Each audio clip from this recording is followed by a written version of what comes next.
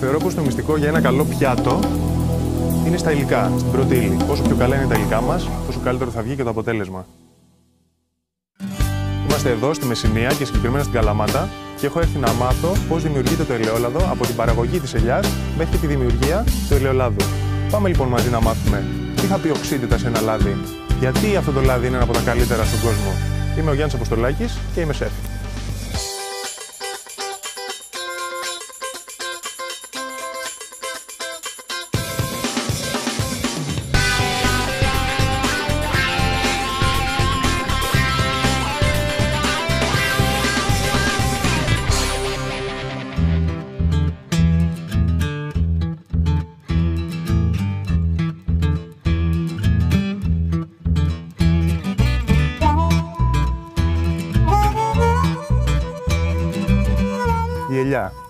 Αυτό το δέντρο θεωρείται από αρχαιοτά των χρόνων ένα δώρο της φύσης στην ελληνική γη. Κατά τη μυθολογία συμβολίζει ειρήνη, γονιμότητα και σύνεση. Επίσης, είναι μια πηγή θρεπτικών συστατικών για το ανθρώπινο σώμα. Στη Μεσσηνία παράγονται 45.000 τόνοι ελαιολάδου ετησίως, ενώ σε όλη την Ελλάδα περίπου στους 350.000 τόνους. Κάτι πολύ σημαντικό για το ελαιόλαδο, για το τελικό αποτέλεσμα, είναι ο χρόνος που από τη συγκομιδή θα περάσει το λιοτρίβι. Όσο πιο γρήγορα λοιπόν γίνει αυτή η διαδικασία, τόσο πιο καθαρό βγαίνει το λάδι και τόσο πιο χαμηλό σε οξύτητα. Κάτι το οποίο στις γειτονικές χώρες, λόγω του μεγάλου όγκου, δεν γίνεται τόσο γρήγορα. Θα πάω τώρα να βρω τον Ηλία, ο οποίος είναι ειδικός σε αυτό, για να μου εξηγήσει πώς γίνεται όλη η διαδικασία.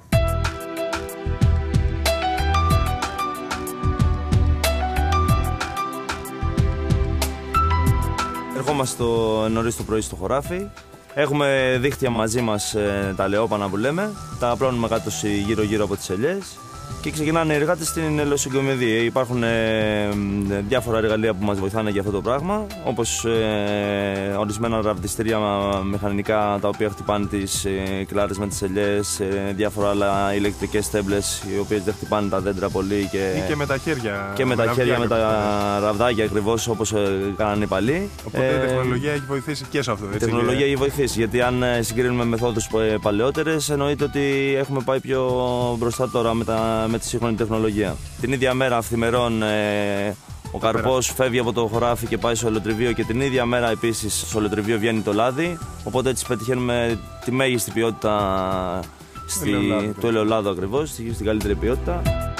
Στην Ιταλία έχουν κάτι μηχανήματα που πιάνουν ολόκληρη την ελιά και τη, την ταρακουνάνε. Ναι, και πέφτουν οι δονητικά. ελιές κάτω. Δεν το κάνουμε εμείς γιατί είναι η δομή του εδάφους τέτοια ή γιατί υπάρχει κάτι το οποίο χαλάει ας πούμε, την ελιά; Τα δέντρα όλα είναι παλιάς ηλικίας και δεν είναι νέες καλλιέργειες Μπράβο, ώστε να είναι είναι γραμμικά φυτεμένες και να μπαίνουν μηχανήματα μεγάλα κτλ. μέσα. Και όσο πιο γρήγορα λοιπόν ε, περάσουμε την ελιά αφού τη μαζέψουμε, τόσο καλύτερη θα είναι και η οξύτητα που θα πάρουμε. Ακριβώς. Επίσης είναι η ποικιλία, η κορονέικη που έχουμε τόσο καλό λάδι, γιατί είναι κατεξοχήν ε, λαδολιά υψηλής ποιότητας. Και αυτή είναι που μας δίνει το λάδι το μεσηνιακό. Ξέρεις, θέλω να μάθω το οποίο το είχα από πάντα απορία. Ποιος είναι ο τρόπος για να κλαδέψεις, Δηλαδή, πού ξέρεις ποιο κλαδί πρέπει να κόψεις, ποιο πρέπει να αφήσεις; Οι παλιοί λέγανε να περνάει το πουλί από μέσα, από την ελιά. Ε, αυτό επιτυχάνεται φυσικά με ένα κατάλληλο αρέωμα.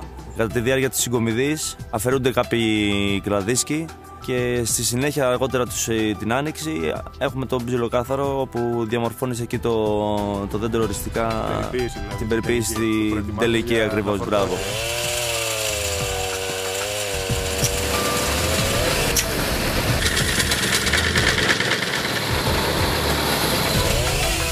Και τώρα η πιο σημαντική ερώτηση. Πιστεύεις ότι το λάδι της Καλαμάτας είναι καλύτερο από τη Κρήτης; Πιστεύω ότι το λάδι της Καλαμάτας είναι το καλύτερο του κόσμου, όχι μόνο της Κρήτης.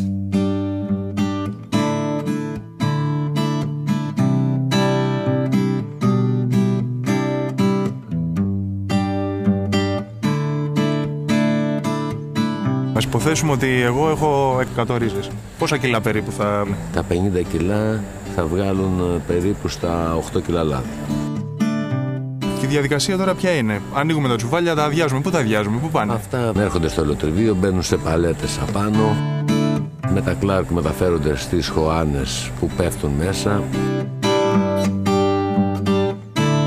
Με ταινία ανεβαίνουν Βγαίνουν τα φύλλα από μέσα. Με αέρα γίνεται αυτό; Με αέρα, ναι. Πέφτουν στο πλητήριο, μεταπλένονται. Μετά πάνε για σπάσιμο, σπάζουν. Είναι δύο οι σπαστήρες με μήλους. Εκεί σπάνε μαζί με το κουκούτσι. Αυτό είναι πλέον σε μορφή πάστα στο Είναι το σε υλικό. μορφή πάστας. Όλα μαζί. και είναι έτοιμες να μπουν στους μαλαχτήρες που μένουν μέσα περίπου στη μία ώρα που γίνεται η μάλαξη. Στη μάλαξη υπάρχει κάποια θερμοκρασία; Υπάρχει μια μικρή θερμοκρασία που ο πολιτός όταν είναι έτοιμος για να περάσει μέσα στα φυγόκεντρα μηχανήματα είναι περίπου στους 27 βαθμούς. Αν ανέβει αυτή η θερμοκρασία, Το χαλάμε, δηλαδή φεύγουν ε, ε, τα αρώματα που έχουν μέσα από το λάδι. Είναι μια καλή θερμοκρασία από 27 βαθμούς μέχρι 29 να μπορεί να βγει το λάδι. Από τις έρευνες που έχουν γίνει και από τις μελέτες που έχουν ε, προκύψει, βλέπουμε ότι το ελαιόλαδο λειτουργεί ευεργετικά για τον ε, ανθρώπινο οργανισμό. Τα μονοαγόρες, τα λιβαρά οξέα είναι καλά για την υγεία του ανθρώπου και ουσιαστικά είναι ένα κριτήριο ταξινόμησης των διαφόρων ελαιολάδων σε κατηγορίες. Υπάρχουν τρεις βασικές κατηγορίες. Υπάρχει η κατηγορία του εξαιρετικά παρθένου ελαιολάδου. Αφορά περιεκτικότητα λιπαρών οξέων έως 0,8%. Ξεπερνώντας βέβαια αυτό το όριο, φτάνουμε μέχρι τα 2, το 2% το οποίο είναι τα παρθένα ελαιόλαδα τα λεγόμενα. Και από εκεί και πέρα προχωράμε στο λαμπάντι, το οποίο ελαιόλαδο δεν είναι τόσο πολύ βρόσιμο.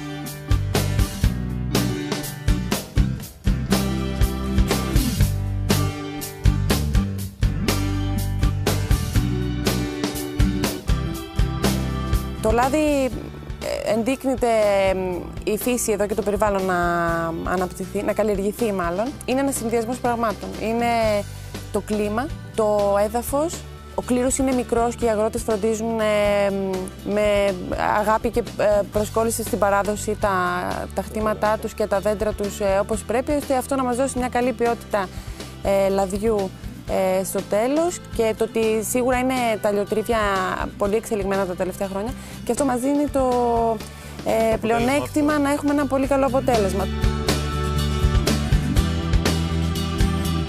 Η Ισπανία, αν σκεφτούμε ότι παράγει περίπου ένα εκατομμύριο τόνους ελαιόλαδο, 650.000 τόνους περίπου η Ιταλία και 350.000 τόνους η Ελλάδα, αλλά το σημαντικό της Ελλάδας είναι ότι είναι όλο extra virgin, είναι μια καλή θέση. Εμπορικά βέβαια είμαστε λίγο πίσω γιατί αν σκεφτούμε ότι το μισό από την παραγωγή της Ελλάδας πωλείται χύμα.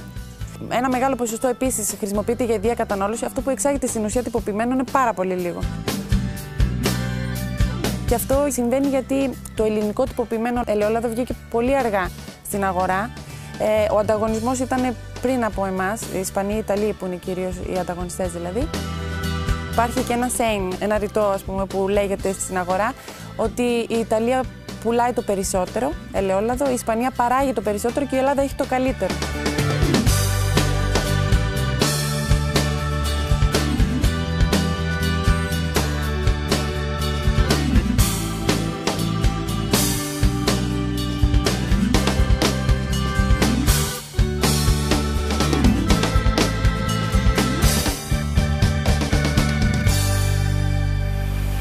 Είδαμε την περισυλλογή του καρπού. Είδαμε τη διαδικασία που περνάει η ελιά για να γίνει ελαιόλαδο και φτάνουμε εδώ στην εμφιάλωση και στην τυποποίηση, το τελευταίο στάδιο. Δεν έχω δοκιμάσει όμως ακόμα τη γεύση του. Οπότε πάμε να μαγειρέψουμε για να δούμε τι μας κρύβει. Θα φτιάξουμε λοιπόν μια ελληνική σαλάτα. Θα ξεκινήσουμε με τις ντομάτες. Θα τις ψήσουμε στο φούρνο για περίπου 15 λεπτά στους 180 βαθμούς και με αυτόν τον τρόπο τους δίνουμε μια επιπλέον γεύση και πολύ εύκολα μπορούμε να βγάλουμε τη φλούδα τους, η οποία είναι δύσπεπτη. Σε ένα λοιπόν μικρό δισκάκι, χαράξτε τις ντομάτες από την κάτω πλευρά, κάντε μια ελαφριά τομή και γεμίστε το δισκάκι με ντομάτες. Η τομή αυτή θα βοηθήσει αργότερα, αφού ψηθούν, στο να τις ξεφλουδίσουμε εύκολα. Ρίξτε λίγο ελαιόλαδο, περίπου δύο κουταλιές της σούπας και αλάτι. Και ψήνουμε σε προθερμασμένο φούρνο σε 180 βαθμούς για περίπου 15 λεπτά, ανάλογα με το μέγεθός τους. Αν είναι λίγο μεγαλύτερες, τότε λίγο παραπάνω. Όσο ψήνονται οι ντομάτες στο φούρνο, θα συνεχίσουμε με τα υπόλοιπα υλικά. θα χρειαστούμε μισό αγκούρι. Με ένα πίλερ, βγάλετε λεπτές φέτες, πάρτε ένα μπολ.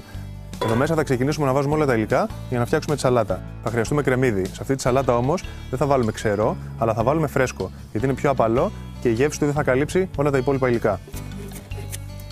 Και αφού ψηθεί η ντομάτα, αφήνουμε για 10 περίπου λεπτά να πέσει θερμοκρασία για να μπορούμε να την πιάσουμε με τα χέρια μας. Βγάλτε λοιπόν και αφαίρεστε τη φλούδα που όπως είπαμε είναι δύσπευτη. Κόψτε τις ντομάτες στα 4 και ρίξτε μέσα στον μπολ με τα υπόλοιπα υλικά. Κρατάμε δύο κομμάτια από την ντομάτα, ρίχνουμε σε ένα μπολάκι και μαζί με λίγο ελαιόλαδο θα ανακατέψουμε καλά γιατί όλη η ουσία στην ντομάτα είναι αυτό που θα μας μείνει μετά για να βουτήξουμε το ψωμί. Και τέλος ρίξτε λίγο ψιλοκομμένο πλατήφυλλο βασιλικό. Και τώρα τι μας έχει μείνει; Η φέτα την οποία θα την κόψουμε σε μικρά τετραγωνάκια θα χρειαστούμε περίπου 100 γραμμάρια φέτας. Αν η φέτα που χρησιμοποιείτε είναι μαλακή και όχι πολύ σκληρή, τότε αφήστε τη για το τέλος για να μην διαλύσει μέσα σε σαλάτα. Ελιές. Ελιές καλαμών. Θα βγάλουμε το κουκούτσι με ένα μικρό μαχαίρι. Κόψτε τις περιμετρικά και στρίψτε την. Μερικά καπαρόφυλλα. Αν δεν βρείτε καπαρόφυλλα, χρησιμοποιήστε κάπαρι ή καπαρόμυλα. Τέλος, το σημαντικότερο, ελαιόλαδο, αλάτι, το μείγμα που φτιάξαμε με το βασιλικό, την ντομάτα και το λάδι. Και τις σαλάτες πρέπει πάντα να τις ανακατεύουμε με το χέρι, γιατί με αυτόν τον τρόπο ελέγχουμε τη δύναμη που βάζουμε και δεν καταστρέφουμε τα υλικά που έχουμε μέσα. Οπότε πάρτε ένα πιάτο, το πιάτο που θα σερβίρετε τη σαλάτα. Ρίξτε από πάνω τη φέτα. Απλώστε την όμορφα. Και τέλος, λίγη φρέσκια ρίγανη. Αδειάστε τη σάλτσα που έμεινε στον κόλλο από πάνω Και πολύ απλά έχουμε φτιάξει μία από τις πιο ωραίες σαλάτες σε όλο τον κόσμο.